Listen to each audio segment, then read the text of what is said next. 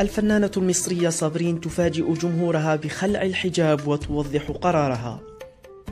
بعد غيابها لعدة سنوات عن المجال الإعلامي فاجأت الفنانة المصرية صابرين جمهورها بنشر صورتين جديدتين على حسابها في موقع إنستغرام تظهرها ولأول مرة منذ أعوام دون حجاب أو باروكة. وتفاعل عدد كبير من محبي الممثلة المصرية ومتابعيها متسائلين ما إذا كانت تخلت نهائيا عن الحجاب بعد أن ارتدته لسنوات طويلة حيث شاركت به في عدة أعمال فنية آخرها مسلسل فكرة بمليون جنيه مع الفنان الكوميدي علي ربيع. وفيما اختلف المتابعون بين مرحب ومنتقد للمظهر الجديد لصابرين. حرصت الفنانة المصرية نشوى مصطفى على دعم الممثلة من خلال التعليق على إحدى الصورتين قائلة قمر يا صابرين تبارك الله زي ما أنت بالضبط. أيام دورك في أبو العلا البشري البنوتة الجميلة الطيوبة.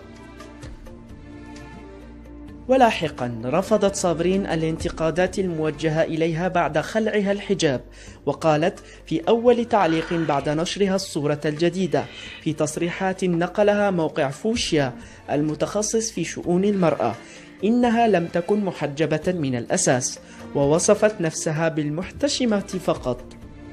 مشيرة إلى أنها تتعرض للانتقادات منذ فترة طويلة.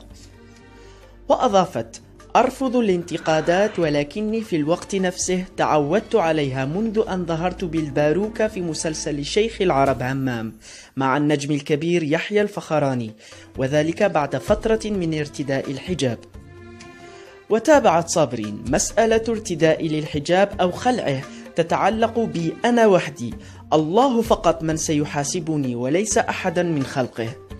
وظهرت صابرين في فعاليات علنية أخيرة مرتدية الباروكة بعد فترة طويلة من ارتداء الحجاب إلا أنها قررت على ما يبدو التخلي عنها أيضا. وتستعد صابرين للعودة للأعمال الاستعراضية والغنائية مجددا من خلال مسلسل جديد ستخوض به الموسم الرمضاني المقبل من بطولة مجموعة كبيرة من الفنانين الشباب.